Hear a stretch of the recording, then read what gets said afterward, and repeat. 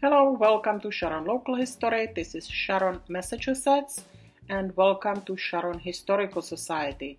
During the month of December and January, we have um, display on different maps from Sharon. We mostly love antique maps.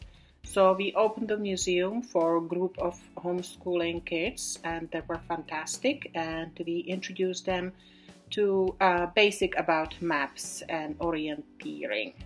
So here are just a few topics that we covered. Uh, we basically talked almost about everything from purpose of a use for maps, different types of maps. Um, here is one of the kids that came uh, was uh, helping to create a compass. We basically made our own compass. That was fun and exciting for the kids. As I mentioned, we talk about different types of maps and their purposes.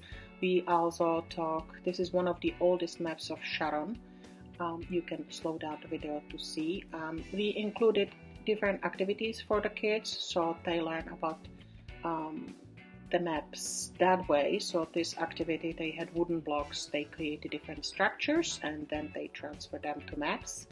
We, of course, also mention how to create a map, how to make um, a proper map scale and uh, map key, uh, what symbols are the most used, what colors, different landmarks.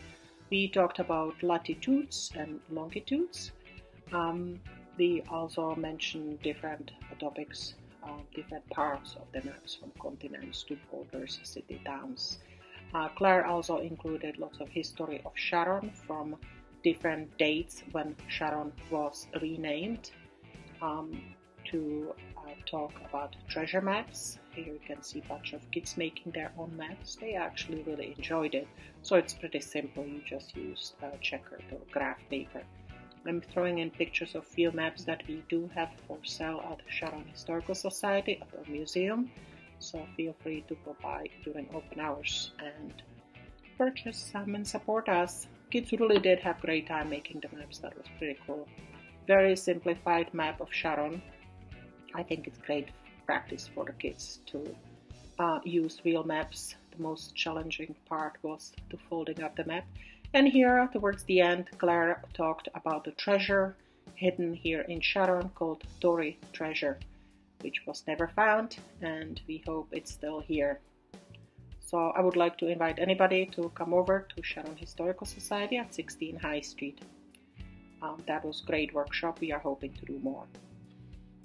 Thank you for watching Sharon Local History.